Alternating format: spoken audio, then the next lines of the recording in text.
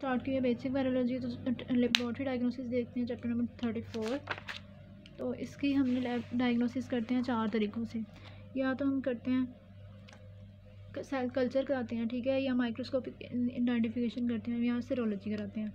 इसके अलावा वायरस का जो एंटीजन या न्यूक्लियस एसिड है, उसकी डिटेक्शन भी कर सकते हैं। तो सबसे पहले सेल कल्चर देख लेते हैं। सेल कल्चर में क्या करते हैं? सेल कल्चर में स्पेसिफिक हो सकते हैं कल्चर्स हो सकते हैं स्पेसिफिक आइडेंटिफिकेशन हो सकती है या नॉन स्पेसिफिक हो सकती है।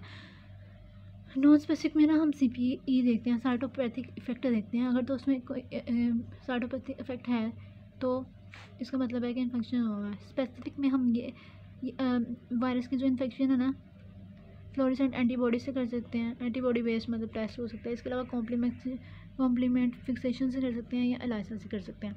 ठीक है? इसके बाद हम बात करते हैं माइक्रोस्कोपिक आइडेंटिफिकेशन की। माइक्रोस्कोपिक आइडेंटिफिकेशन में चार तरह के मेथड है including bodies multinucleated giant cells fluorescent antibody staining of cells fluorescent antibody staining of cells वो ऊपर से फ्लोरिसेंट एंटीबॉडी अकेला था और ये स्ट्रेनिंग करानी है उसकी। स्ट्रेन करा के हमने माइक्रोस्कोप के नीचे देखना है। इसके अलावा इलेक्ट्रॉन माइक्रोस्कोपी तो इंक्लूजन बॉडीज़ में मैंने आपको पहले भी बताया कि ये नॉन न्यूक्लियस में भी हो सकती हैं और साइटोप्लाज्म में भी हो सकती हैं, ठीक है?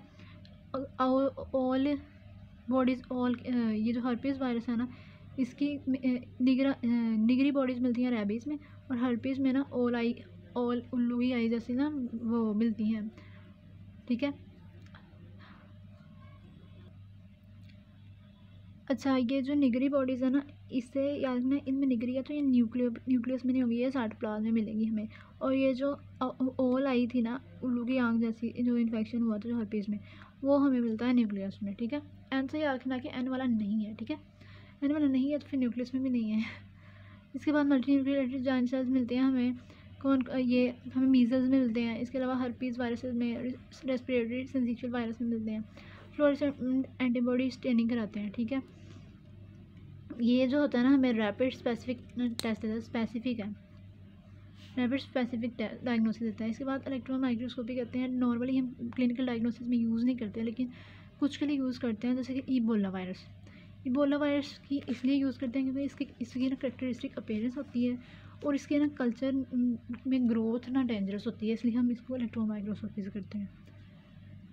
नेक्स्ट आ जाता है सीरोलॉजी सीरोलॉजी में हम आईजीएम और आईजीजी की प्रेजेंस को देखते हैं। आईजीएम है तो फिर उसकी वजह से करंट इन्फेक्शन हो सकता है, ठीक है?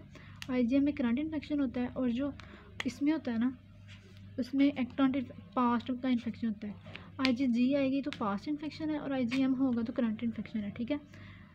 मतलब एक पास्ट इन्फेक्शन का मतलब है कि पहले उसे आई जी एम जी आ रही है तो उसका मतलब है लाजमी नहीं है, उसको डिज़ीज़ है, उसको पहले डिज़ीज़ हो चुकी है।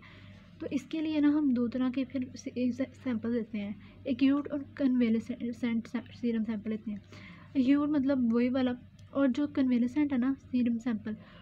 तो एक्यूट कन्वेलेसेंट सीरम सैंपल में ना चार से चार गुना ज़्यादा टिटर होना चाहिए इसका आई जी का एज़ कंपेयर टू एक्यूट ठीक है?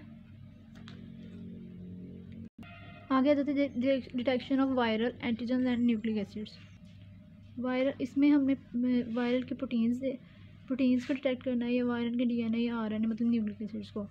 तो इसमें, इसके लिए, इसके ये एच आई वी हेपाटाइटिस के लिए हम ये यूज़ करते हैं। एच आई वी की जो पी ट्वेंटी फोर प्रोटीन है ना, उसके उसको डिटेक्ट करते हैं और हेपाटाइटिस बी की जो एंटीजन है ना वो उसको यूज़ करते हैं एच वी में और हेपाटाइटिस बी में। बी में उसकी सर्फेस एंटीजन को डिटेक्ट करते हैं इसको। इसके अलावा वो कह रहे हैं वायरल डी एन ए या आर एन ये गोल्डन स्टैंडर्ड मेथड है इन वायरल डायग्नोसिस में, ठीक है? गोल्डन बन चुका है, ठीक गोल्डन स्टैंडर्ड ये पास पेपर का क्वेश्चन भी है गोल्डन स्टैंडर्ड का लफ्ज़ पूछा हुआ उन्होंने कौन सी टेक्निक यूज़ होती है। इसमें क्या करते हैं प्रॉप्स ये स्पेसिफिक टेस्ट है लेबल प्रॉप्स ना हाई स्पेसिफिक होते हैं। इसमें क्या होता है कि जो न्यूक्लियर केसेज है ना, उनकी एप्लीकेशन की जाती है रिवर्स ट्रांसक्रिप्टेज से। और बहुत ज़्यादा प्रोड्यूस किए जाते हैं और वो फिर उनके पास प्रॉब भेजा जाता है, प्रॉब उनको डिटेक्ट कर लेता है, ठीक है? इसको हम, ये एच आई वी के आर एन ए के वायरल और में इसकी बहुत अच्छी एग्जांपल है।